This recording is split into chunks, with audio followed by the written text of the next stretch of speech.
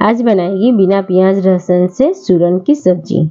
सूरन को अलग अलग जगह पे अलग अलग नामों से बुलाया जाता है। इस कहीं पे इसे ओल बोलते हैं, कहीं पे इसे जिमिकांत बोलते हैं और कहीं पे इसे मेड्रासी ओल भी बोलते हैं। तो इसके पहले हम पीछे के छिलके को अच्छी तरह से उतार लेंगे। उसके बाद सूरन को इस तरह से स्क्वायर शेप में एक बराबर साइज़ में कट कर लेंगे।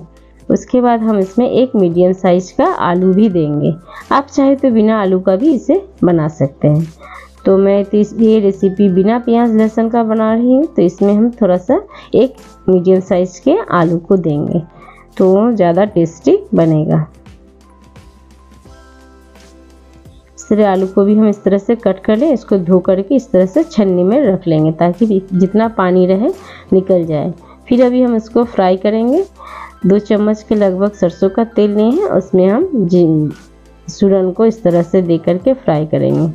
अगर आप बिना कुकर का बनाइएगा, तब आप डीप फ्राई कीजिएगा और इस तरह से फ्राई कीजिएगा।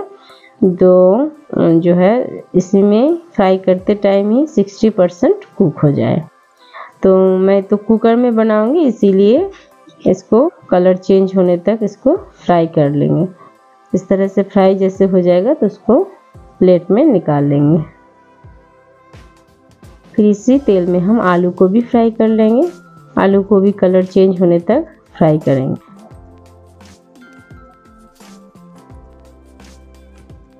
इस तरह से आलू को भी निकाल लेंगे। फिर उसी कढ़ाई में हम एक चम्मच घी देंगे। सूखी मिर्ची देंगे तेज़पत्ता देंगे और कुछ खड़ा गरम मसाला को कूट करके देंगे। इसमें दालचीनी, इलायची, लौंग, काली मिर्च। एक चम्मच गोटा जीरा फोरन में देंगे। एक चम्मच अदरक देंगे। दो पिंच हींग भी दिए हैं तो स्किप हो गया। और नमक और हल्दी देंगे स्वाद के अनुसार। इस तरह से थोड़ा सा नमक हल्दी दे करके चलाएँगे। और एक चम्मच गोटा जीरा दिए। और भी थोड़ा सा पानी दे देंगे ताकि मसाला जले नहीं।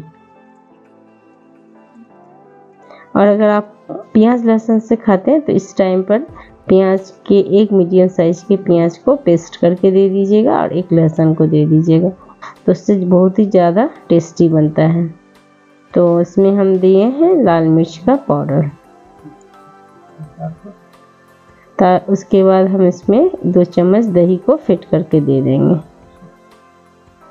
जीवी जीमीकंद के सब्ज़ी में या सूरन के सब्ज़ी में थोड़ा सा खट्टा देने से अच्छा लगता है खाने में। इसमें हम कलर के लिए दे दिए कश्मीरी लाल मिर्च का पाउडर। जैसे तेल सेपरेट होने लगा, तभी हम उसमें एक चम्मच कसूरी मेथी को क्रश करके दे दिए। अभी हम जैसे मसाला फ्राई हो गया, तब हम फ्राई किए हुए सूरन को इसमें दे देंगे। इस तरह से चलाएँगे। मसाला के साथ अच्छी तरह से फ्राई किए हुए सूरन और आलू को मिलाएँगे। और फिर अभी हम इसमें पानी गरम देंगे। ठंडा पानी नहीं देंगे। गरम पानी देंगे, इतना देंगे ताकि सब्ज़ी डूब जाए इसमें अच्छी तरह से।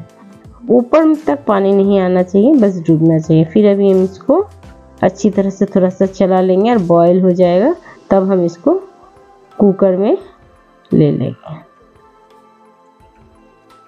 कुकर में ट्रांसफ़र करने के बाद कुछ इस तरह से लगेगा। देखिए, पानी और